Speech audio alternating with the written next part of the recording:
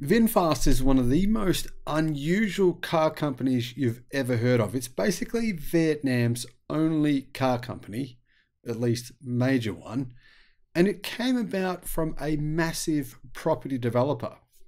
VinFast first came onto the scene back in 2017. Basically, what they did is they took BMWs and turned them into something else. Their first car was a rebodied BMW 530i. The second car was the subcompact VinFast Fadil and it was a restyled Chevy Spark. Their next car was a limited 500 unit President SUV. President SUV was its actual name, and it was a Lux SA with a General Motors V8 under the hood in place of the BMW engine. So basically, a BMW with a General Motors V8 engine badged as a VinFast with a different body as well. Confusing, I know. However, VinFast, if they did well enough to actually take top place in Vietnam's car sales list, which is pretty amazing for a company that didn't actually even start selling cars until 2019. However, they aren't cheap. A based VinFast Lux SA 2.0 retails at the equivalent of more than 68,000 US dollars. And incredibly, that's about the third of what the cost of an imported BMW X5 would be in Vietnam. In July of 2022, the recently cancelled Lux A 2.0 doubled the Vietnamese sales figures of the Kia K5, the Toyota Camry, the Mazda 6, and the Honda Accord all put together combined. And then, amazingly, they cancelled it. VinFast planned to sell cars in 2021 in the US, but that didn't happen. In fact, VinFast bought hundreds of acres of land in Australia and leased some of the biggest automotive facilities in the country because they were going to manufacture cars in Australia. They even hired people that I know. Then they fired them and sold off all of their Australian assets. In January of 2022, VinFast announced its intentions to end production of internal combustion vehicles and shift to a full EV strategy. A, fart, a smart decision, I think. Gone would be the BMW and General Motors based designs and the GM engines, the V8s, replaced with electric vehicles developed from the ground up by VinFast. The company actually got talent from General Motors employees who actually worked on the Ultium platform. I'm not really sure that was the wisest decision, but yeah, that's what they did. However, the brand had an incredibly short period for developing these cars. It was putting immense pressure on its employees to get electric vehicle production started as quickly as possible. In fact, they were able to show a full line of EV concept cars at CES in January of 2022, and the brand said it would stop selling internal combustion engine vehicles by the end of the year, despite only introducing its first models in 2019. At that time, VinFast said it would have at least two fully electric models, the VF8 and the VF9, on American roads by the end of 2022. Then by early July, the brand opened its first retail locations in California. The company had already put one electric car called the VinFast E34 for sale on the Vietnamese car market.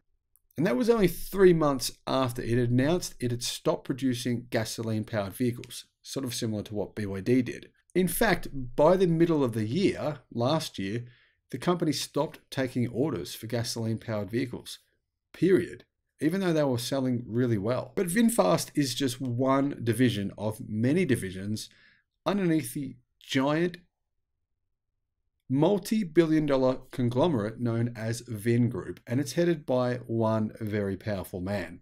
His name is Pham Nhat Vuong, and he was born in 1968. He grew up in Hanoi. He graduated in 1992 from Russia's Moscow Geological Prospecting University, and Pham made his fortune mass producing instant noodles in an enterprise that was eventually sold to Nestle. Eventually, he expanded into real estate, building a business that turned him into Vietnam's first billionaire. So, Vingroup now has businesses all over Vietnam. Jalopnik says you might buy groceries at a Vinmart and clothing at Vin Plaza. Your family vacations might be at a Disney style Vin Wonder theme park. Or you might book a holiday at one of their number of resorts across Vietnam, which are really mainly intended for tourists more than anything else from overseas. However, they also have hospitals, they have schools, and they also even have universities called Vin University. You can see why the cars sold so well. Vin is a brand that everyone in Vietnam knows and knows very well. And VinFast is very good at doing one thing raising capital. Investors seem to just be confident in the Vin brand. A fresh round of funding for the Vietnamese EV maker has seen $2.5 billion secured to facilitate its expansion into global car markets. The new round of funding comes days after the latest shipment of cars comes days after the latest shipment of its electric cars made its way to the United States and also to Canada. The additional funding will assist the company in expanding into other foreign territories, with launches planned in France, Germany, and the Netherlands later this year. Now, the company is hoping to raise a further $2 billion and they estimate they are worth $60 billion. In other words, VinFast is saying that their car division is worth more than General Motors, more than Ford, without ever having really done much. However, they do have a new car and it looks kind of cute. It's called the VF3, and a lot of motoring journalists seem to be fawning over it, even though it doesn't yet exist. This tiny, affordable electric car will one day become the national vehicle of Vietnam, according to its manufacturers. VinFast has taken the wraps off its latest vehicle. And I've got to say, it does look pretty cool. I like it. It features a very boxy design. It's got two doors, enough room for five passengers, and it's considered a mini car. It's like a basically the size of a kei car from Japan or something like the Wuling Hongguang Mini EV. It's only 3.1 meters long. That's 3,114 millimeters or 122.5 inches, meaning it's only 2.5 inches longer than one of the original Mini cars. The Mini, very small, right? Yeah. VinFast say that the car will be powered by an electric motor and a battery pack, but it doesn't say how big the battery will be or anything about the motor. In fact, we have very little information. That said, VinFast says it will be its biggest seller. You can see why. The company is based in Southeast Asia, and this should be a very affordable car. I think it's a car that will resonate with a lot of people. VinFast has huge aspirations for the VF3.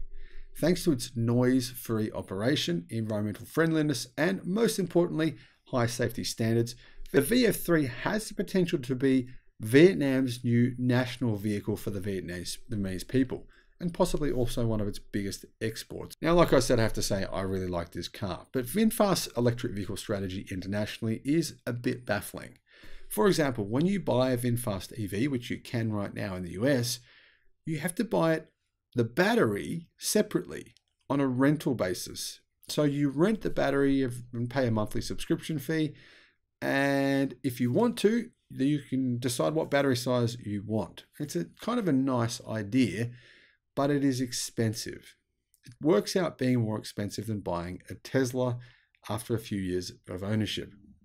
Now, I personally think VinFast strategy isn't going to work. I think people want upfront pricing, they want to know what they're getting, and they want to understand the product. VinFast product is even confusing to many journalists. So either way, this company has had a very interesting history and has produced EVs in probably the fastest time from going from concept or idea to concept to production than any company in history that I've heard of anyway. I don't know of any other car company that's been able to operate at the speed that VinFast does.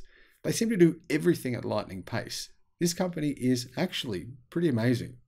Let me know your thoughts in the comments. Thanks for watching.